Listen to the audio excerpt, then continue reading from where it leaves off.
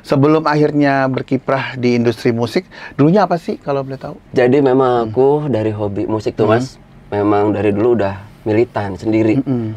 Tiga bulan kemudian tuh si mempelai eh, calon mempelai perempuannya itu mengalami kecelakaan. Dari lagu ini tersadar Hmm. ya bahwa sebuah karya ternyata ada yang kita mengalami dulu, Iya. baru kita bikin Mm-mm. sa- eh, saat menulis lagu. Hmm. Dan ternyata ada yang kita tulis itu menjadi satu cerita buat kita alami nanti. Kita alami nanti. Tapi kenapa namanya awan yeah gitu? Maksudnya harus gitu nyebutnya yeah gitu. Iya,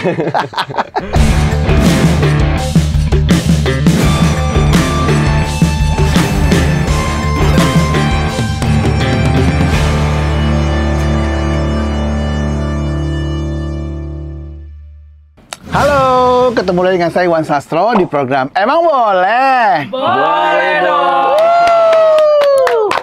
Tamu saya kali ini adalah seorang pendatang baru yang eh, jalur musiknya adalah folk ballad. Boleh dong? Boleh dong. Dia adalah Awan Ye. Eh, sapa dong ke penonton. Emang boleh gitu? Emang boleh awannya main ke sini? Nggak boleh Boleh, Mas. Boleh sih gue? Mungkin belum pada kenal. Iya, lupa gue biasanya harusnya bawa nasi kotak ya. Oh iya. By the way, Awan apa kabar? Alhamdulillah Mas Iwan gimana kabar? Baik, baik, baik. Jauh-jauh dari Cilegon katanya ya? Iya. Itu benar. Cilegon rumah atau maksudnya emang domisili di sana atau atau gimana? Kebetulan aku Hmm. memang asli orang sana, domisili di sana, rumah juga di sana. Mm-mm. Dan ada sedikit juga sambil usaha sebelum di musik ya. Iya. Itu ada di sana. Oke, ini mungkin juga menarik dari awannya ya. Kita juga pengen tahu sebelum akhirnya berkiprah di industri musik, dulunya apa sih kalau boleh tahu? Dulu aku pedagang mas, aku jualan ya. Mm-mm. Karena memang dulu memang suka eh, memang di bisnis. Mm. Spesifik jualannya apa tuh? Dari dari awal itu aku lebih ke sablon karena aku dulu Sa- sablon? Iya, sablon Oh, baju, printing. baju. Oh, oke. Itu di di Bandung. Di Bandung. Cuma memang eh, bawaan aku tuh jiwanya memang senang dari dulu musik. Oh, Jadi di gitu. sela-sela itu pengen ngejar hobi itu musik Iya. menjadi sesuatu yang menguntungkan gitu. Jadi sambil nyablon dulu sambil nyanyi gitu misalnya. Iya, jadi sablon tuh buat modal nanti kalau ada lagu baru eh, rekaman gitu latihan Oh, oke. gitu. Dan akhirnya terwujud ya. Alhamdulillah. Sampai Tapi kenapa namanya awan yeah gitu? Maksudnya harus gitu nyebutnya yeah gitu. Iya atau kayaknya. gimana? Awan ya. Awan ya itu sebenarnya dari nama pertama awal aku bikin eh, medsos, Ya. akunnya itu semuanya udah Awan ya. Apa tuh dulu? Facebook, Friendster atau apa? Friendster aku ngalamin mas. Jadul. Oke, terus Terus nah dari Hmm. mulai situ dari Facebook segala macam sampai Instagram ternyata pemilik awannya itu nggak banyak. Udah Ya. Ah, ada gitu langsung langsung bisa diklaim. Ya udah dan teman-teman dari yang dulu tuh udah Hmm. tahu gitu awannya. Jadi aku pakai itu aja.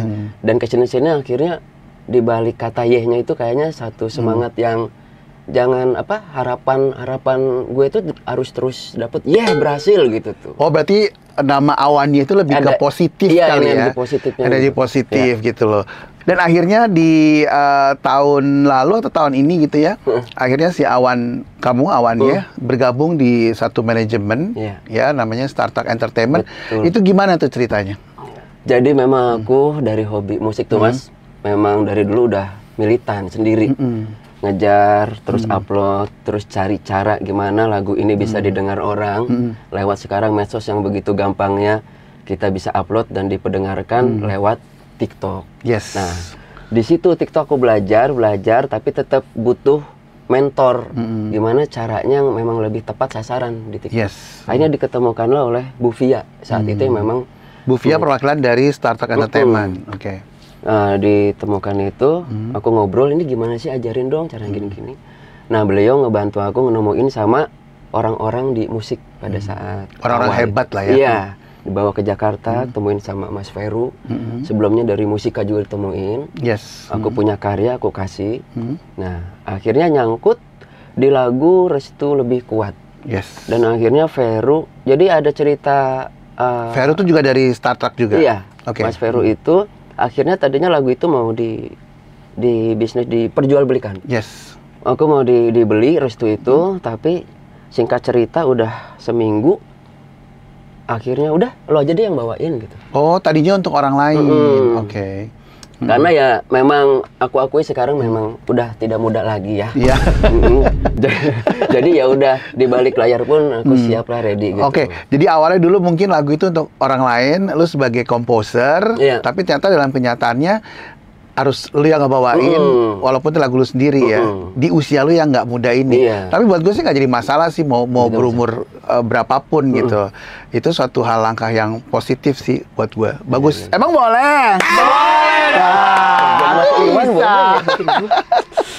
boleh. Tapi kalau ngomongin berkarir uh, bikin lagu, emang dari umur berapa sih? pertama kali bikin lagu itu di SMP pas perpisahan pensi Di Cilegon ya? Mm-mm. dan Hmm. itu uh, karyanya memang memang ka- kosakatanya masih asal Iya. tapi sangat lumayan seneng tuh Hmm. bisa juga bikin Dipopulerkan atau untuk sendiri aja waktu itu? waktu itu emang khusus buat ini aja buat Atau teman-teman nongkrong gitu? buat perpisahan waktu Oh, itu perpisahan. orang kan waktu zaman aku masih yang metal ngerock gitu Hmm. tapi aku seneng uh, ngerangkai kata gitu memang Itu memang kalau boleh tahu eh, zaman kamu metal itu tahun berapa ya? tuh tahunnya harus sebutin aja Gak perlu ya. ya sekitar 18 18 18 82. Oh, Oke, jadi pas untuk perpisahan aja. Setelah itu Iya. bikin-bikin lagu terus atau gimana? Enggak, masih masih Hmm. masih apa? eh, mainin lagu-lagu orang, dengerin lagu-lagu referensi orang gitu. Hmm. Oke. Cuma aku inget di saat pernah bikin karya sendiri itu di Hmm. SMP itu. Memang sih berantakan kosakatanya, cuma Hmm. seneng aja dan alhamdulillah waktu itu aku ngenalin di teman-teman ini lagu saya nih sendiri Hmm. dan pada cuek juga sih denger. Sambutannya tetap cuek ya.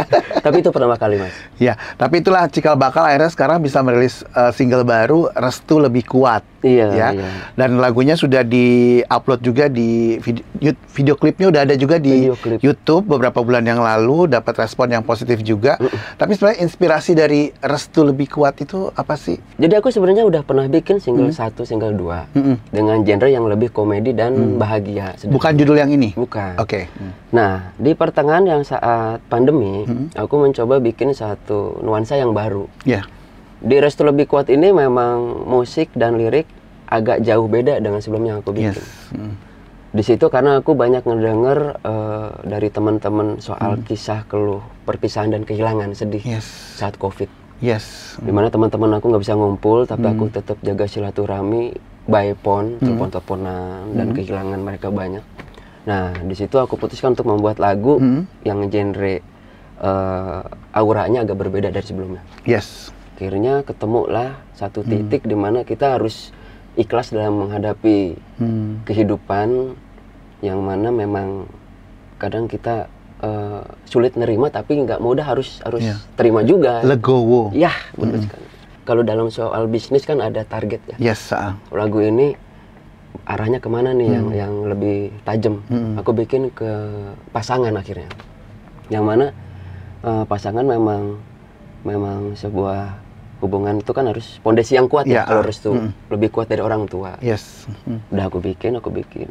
Akhirnya final itu terakhir aku dengar cerita dari temen aku nih. Hmm.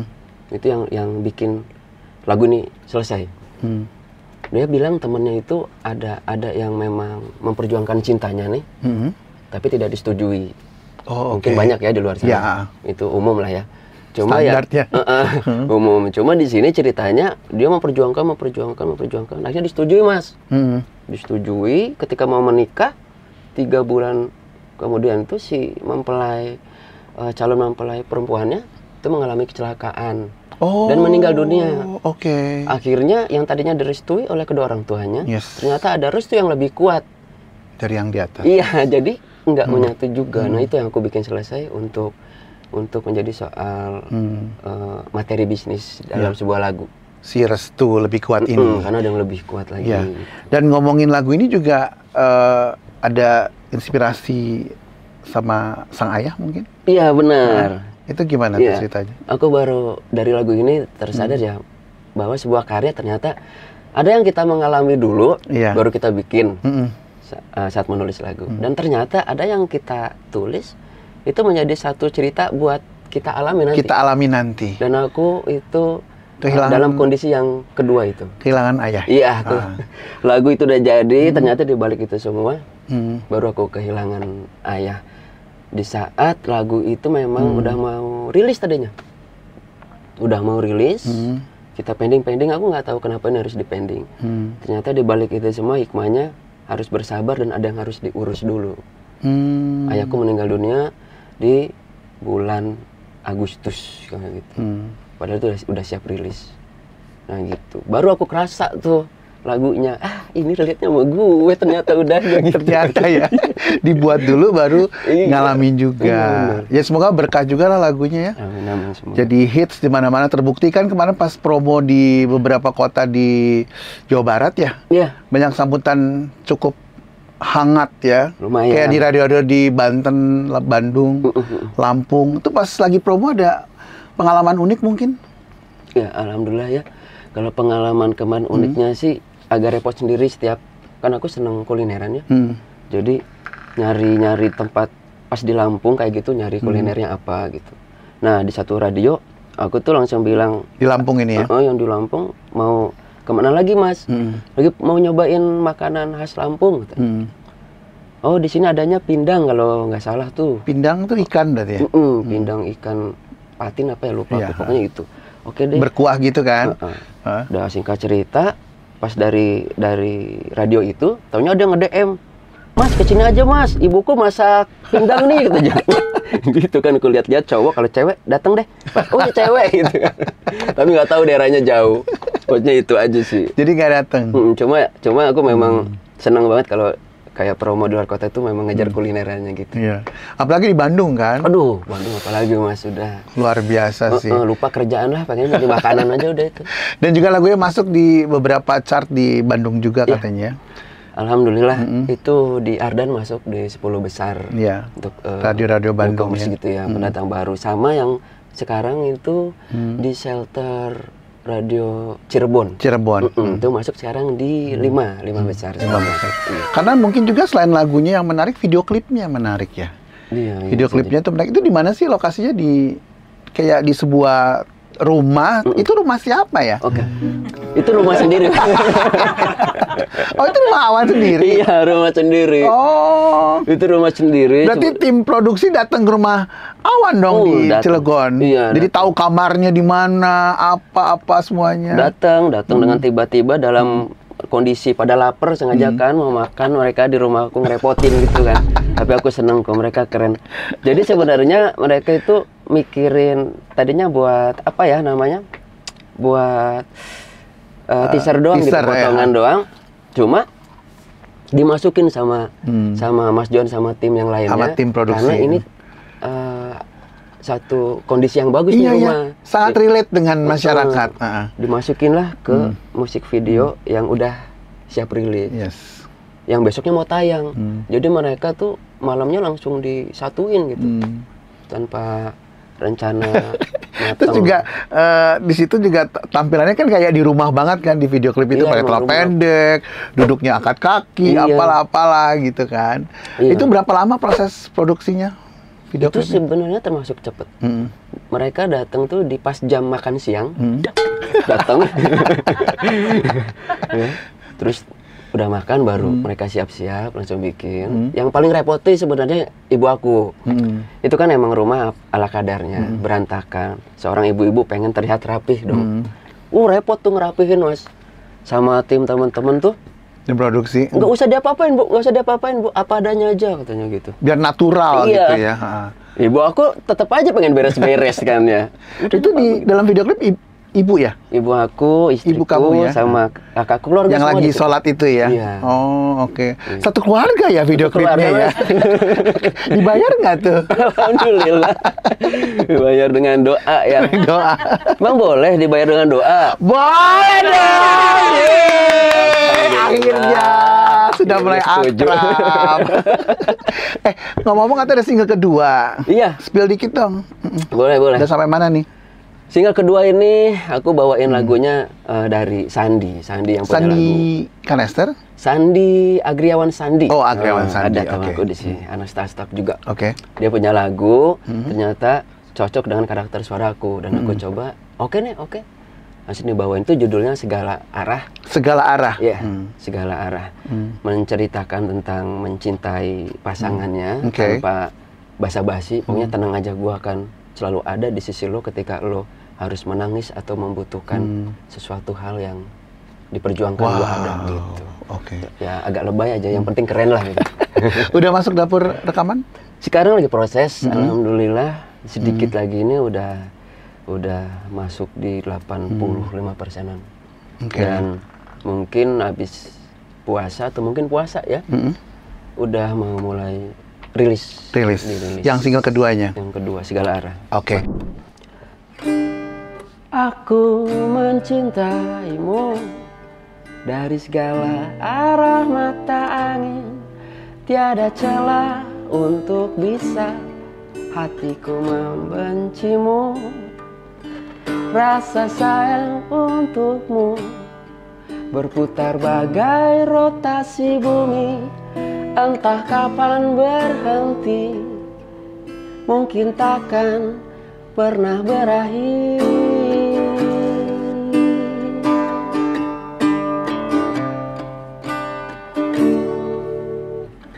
itu potongannya. Yeay! Yang restu dong sedikit. yang restu? Mm-mm, sedikit? Nggak boleh banyak kan ya? Ya, silakan sedikit aja. Ya coba ya.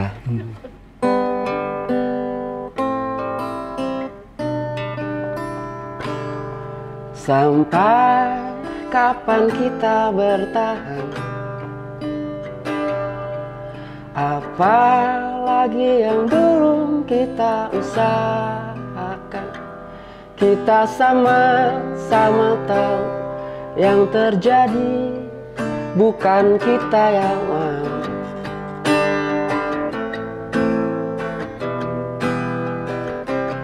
Sudah ku coba untuk yakinkan Aku pun tahu kau juga begitu.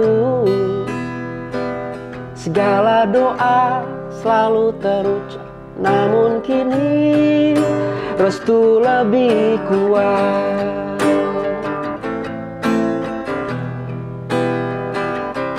Berpisah pasti menyakitkan. Tapi tak indah jika diteruskan. Sudahlah sudah kita serahkan.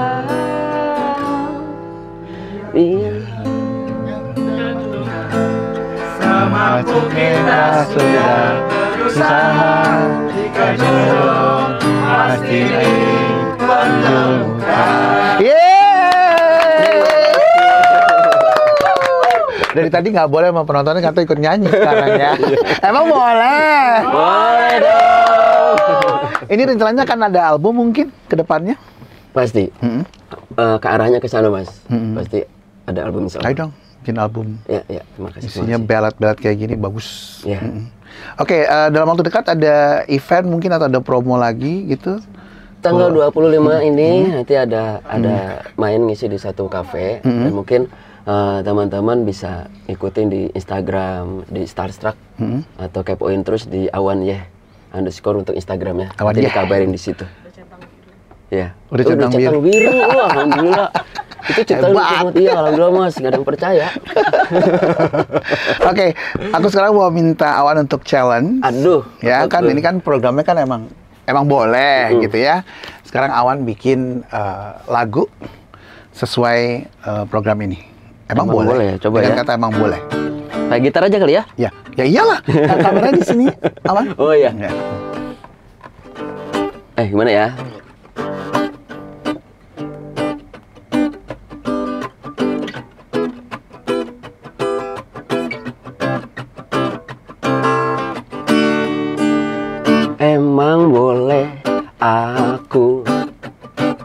Mencintaimu Emang boleh aku memilikimu Emang boleh aku main ke rumahmu Emang boleh aku kenal sama bapakmu Emang boleh aku jadi imammu emang boleh aku hidup bersamamu hingga nanti kita bahagia bersama hingga tua agar silaturahmi tak putus emang boleh pinjam seratus Boleh dong.